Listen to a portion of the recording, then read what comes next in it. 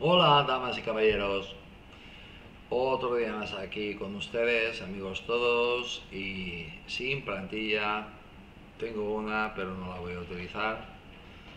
Eh, como saben ustedes, eh, hay muchos países, unos más, otros menos, pero cada día son más los países que formaron parte de España, eran tan españoles como lo pueda ser yo, eh, que quieren volver a integrarse en España. Eh, se están haciendo desde hace... y todo viene desde la otra parte del océano. España en estos momentos está simplemente, por decirlo de alguna manera, en plan observador van personas de cuarta, quinta fila o sexta fila a ver ahí qué es lo que se dice, pero no tienen ni poder de decisión ni nada. Lo único que hacen es informar de lo que pasa ahí. Unos son más conocidos, otros son menos conocidos, pero eh, la historia es que los hispanistas las personas que han estudiado, que son catedráticos de esto, catedráticos del otro, personas muy inteligentes que se conocen la historia verdadera a la perfección, como don Patricio Lons, argentino él, eh, don Marcelo Gullo, argentino él también, pero así como ellos hay en todos los países de Hispanoamérica. Y también en el único país de África que hasta hace nada pues también era España, como Guinea Ecuatorial. También los saharauis quieren regresar a España. Lo que tienen que entender estas personas, estas eminencias, es que los españoles estamos hasta el gorro de las dichosas autonomías. Esto se, le impuso a España en la transición. Cuando murió Franco, se le impuso a España por parte de Estados Unidos y por parte de Alemania. Esto de los reinos de Taifa, esto de las autonomías. España estaba ya organizada para ser un país centralista, respetando a las lenguas y a las culturas y a las costumbres de las regiones que tenemos lengua, cultura y costumbres propias. Hay una serie de, regiones que están dando por el orto, como dicen en Argentina como es Cataluña, en menor medida, eh, eh, pero también las Vascongadas y en menor medida también eh, Galicia. Quien más tranquilita está dentro de lo que cabe, depende del gobierno que esté en ese momento, es Valencia. Al final, tantas fueron las presiones y tanto fue todo que hubo café para todos. Es decir, que se hizo, España se troceó, igual como Hispanoamérica, en reinos de taifa, en autonomías. Vamos a ver, ¿en qué se diferencia un país que tiene landers, o sea, sé, eh, un Estado federal, en un país que no lo tiene? Pues un país que no lo tiene es porque es un país que es que tiene una historia inmensa y que tiene muchísimos años de historia. Los países que son federales, como Estados Unidos o Alemania, son países recién creados.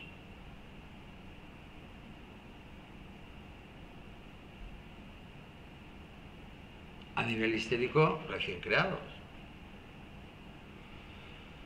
La leyenda negra lo que consiguió fue trocear en cachitos muy pequeños, pues Hispanoamérica. y para eso ayudaron mucho los traidores, esas grandes fortunas que existen, que nadie sabe de dónde vienen, pues vienen del oro que les entregaron, pues principalmente los ingleses, los franceses, los holandeses, los yanquis y todo el mundo.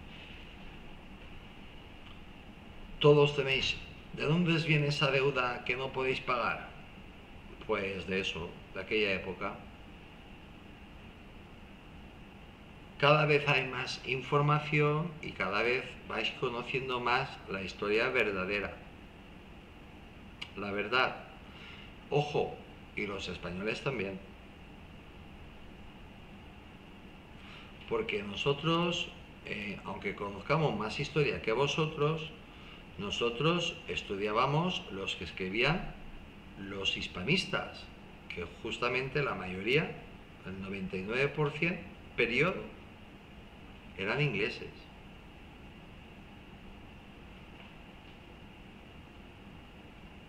Solo hasta finales eh, del siglo XIX y principios del siglo XX, España empezó, las élites españolas empezaron a tomar conciencia de la leyenda negra y de tomárselo en serio. Pero ya era tarde, obviamente. Es verdad que hubo errores tremendos de una parte y de la otra.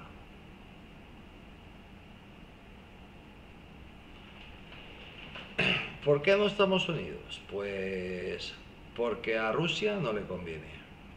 Pero Rusia dentro de todo es el mal, el mal menor. El mal, el mal, el mal menor. China tampoco le interesa, porque está en plena expansión. Estados Unidos, desde luego que no le interesa en absoluto que tener, pues lo que sería, pues después de China, la primera gran potencia del mundo. Es decir, seríamos la segunda superpotencia del mundo.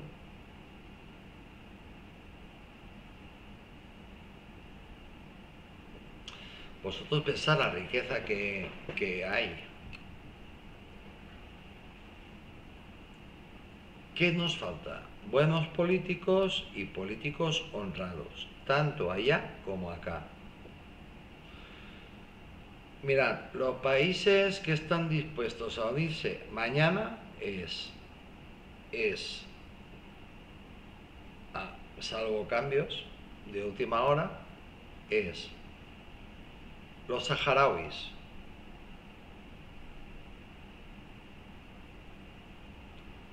Guinea Ecuatorial, África, eh, Península Ibérica, Portugal y España.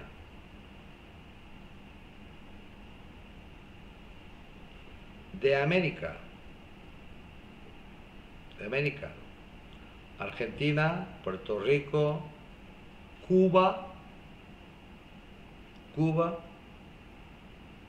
Colombia, Venezuela, Ecuador, Chile, unos en mayor medida y otros en menor medida.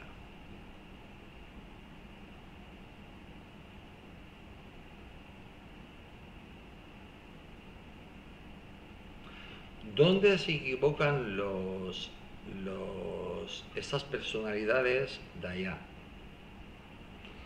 Pues que quieren que la corte, o sea, sé, que el rey de España pues se vaya a México, o se vaya a esto, o se vaya. ¿Qué pasa? Que los cuarterones o tercerones, los que van a escuchar y a contar lo que pasa en esas reuniones, pues dicen lo que tú quieres escuchar. Dicen que perfecto, que el rey estaría maravillosamente el rey, su majestad el rey, no se va a mover de España.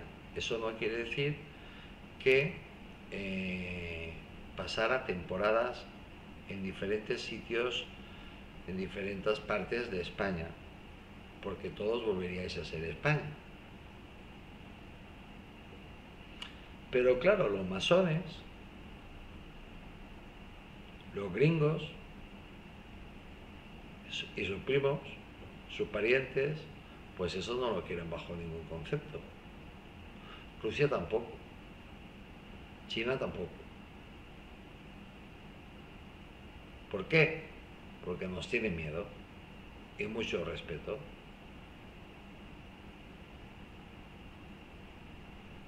Simplemente tenéis que pararos a pensar, frenar y pensar que si hubieran políticos eh, patriotas que hicieran lo mejor para todos los españoles, pensemos que estemos todos unidos ya, o estos países unidos, pues seríamos muy grandes. Eh, tendríamos más comercio que la Unión Europea. Nuestra moneda valdría más dinero, más, tendría más valor que el dólar y que el euro. Y estaríamos prácticamente a la par que el, que el yuan. Pensad en el tremendo ejército que tendríamos. Tendríamos un comercio espectacular, una economía tremendamente eh, fuerte y un ejército espectacular. Unas fuerzas armadas espectaculares y modernas. Así que nadie os, ¿Queréis saber de qué manera podéis demostrarlo? Y eso, vale, yo a mí, a quien tengo la cabeza sobre todo, es a Venezuela. Pero eso sirve tanto para Venezuela como para México, como para Argentina, Cuba, lo que sea. Cualquier país colgando banderas constitucionales de España, la de la Cruz de Borgoña o la Cruz de San Andrés. Esa cruz es del ejército, es, también es bandera de España, pero hay otra bandera de España que es la constitucional, que es la roja igualdad, la bandera de España, la que veis todas, la roja y amarilla pues simplemente tenéis que comprar una bandera de esas que vale nada, es muy barata y la colgáis de vuestro balcón. Yo os voy a poner una fotografía de edificios con banderas colgadas, con banderas españolas colgadas de vuestro balcón. No manchéis la bandera de España. No la manchéis, es decir, no la ensuciéis. No intentéis hacer juegos de mezclar la bandera, la pseudo bandera de ese país que se creó artificialmente con la española. Porque vais a tener solo una bandera que es esa. Y simplemente, sin decir nada, colgando esa bandera, estáis diciendo que vosotros sois españoles y queréis pertenecer a España. Cuanto más banderas colguéis, cuantos más balcones tengan esas banderas colgadas, simplemente a simple vista, valga la redundancia, eh, se puede ver a la perfección, eh, se puede hacer un recuento perfectísimamente sin decir ni mu, ni sin abrir la boca, cuántos países quieren pertenecer a España. No hace falta que lo diga ni al doctor este ni al doctor el otro, lo estáis diciendo vosotros. ¿Y quiénes sois vosotros? El pueblo soberano.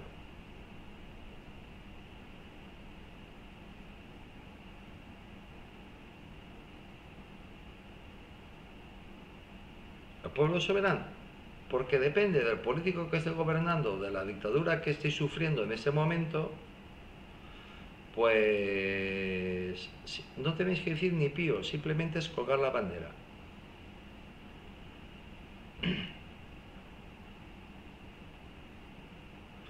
Y entonces quizás España se mueva.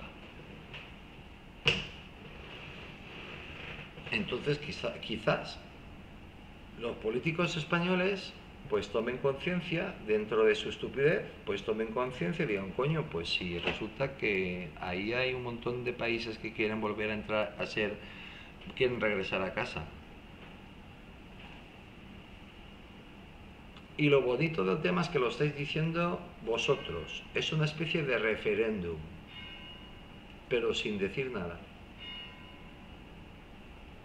Fácil y sencillo. Y acordaos que siempre sois vosotros los que os tenéis que adaptar. Porque como digo yo, nosotros estamos bien. Vosotros cómo estáis, bien jodidos, ¿verdad que sí?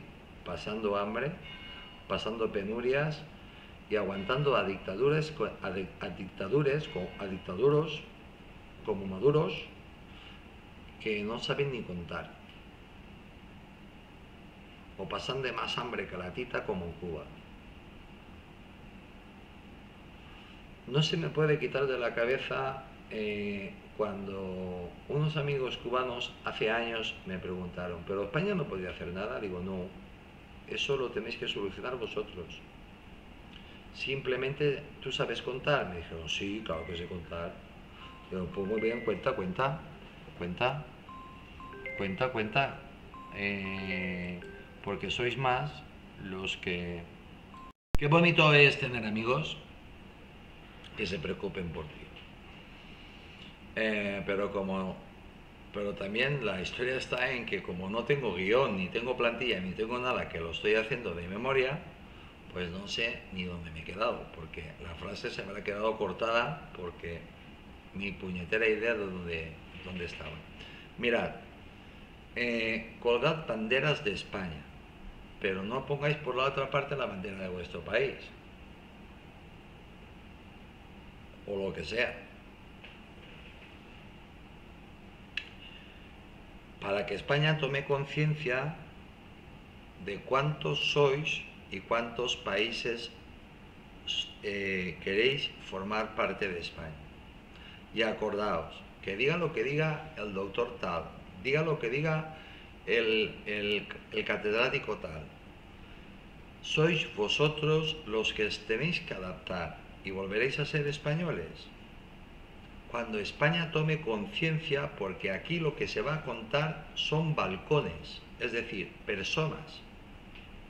Porque dentro de cada balcón, pues hay una familia.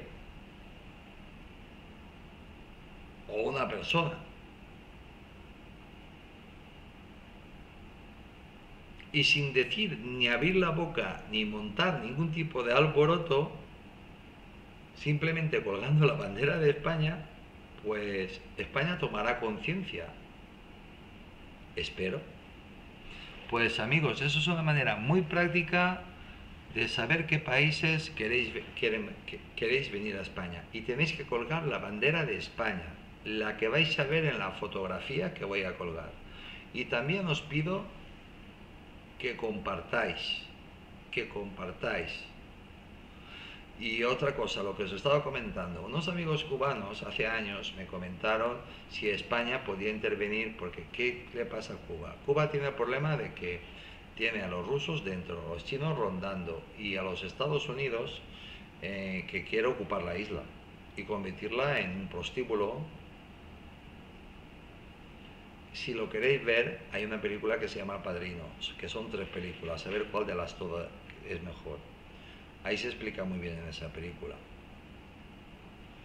Eh, pues nada. Eh, y entonces España no se va a mover ni va a hacer nada hasta que no lo tenga muy claro. Tremendamente claro. Y hay que proteger a su majestad el rey. Hay que proteger a su majestad el rey y tratarlo como lo que es, el rey.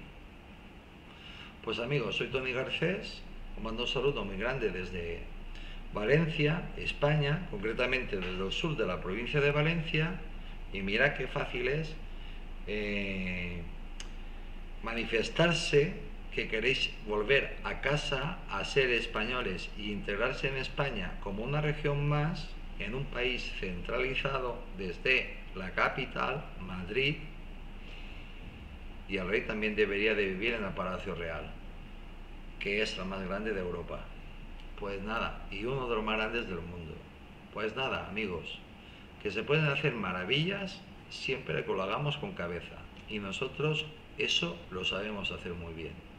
Por eso nos temen tanto. Porque inmediatamente de la noche a la mañana eh, veríais cómo cambiaría vuestra vida. Aunque no creáis, milagros los hace Dios. Milagros los hace Dios. Y ya está. Pero por lo menos sin decir nada sabríamos, sin que los políticos ni nadie digan nada, sabríamos cuántos queréis que vengáis a España. Ojalá se produzca el milagro y se vea una Hispanoamérica llenas de banderas de España en todos los balcones. Porque eso es un grito sin gritar. De queremos volver a casa y queremos volver a ser españoles.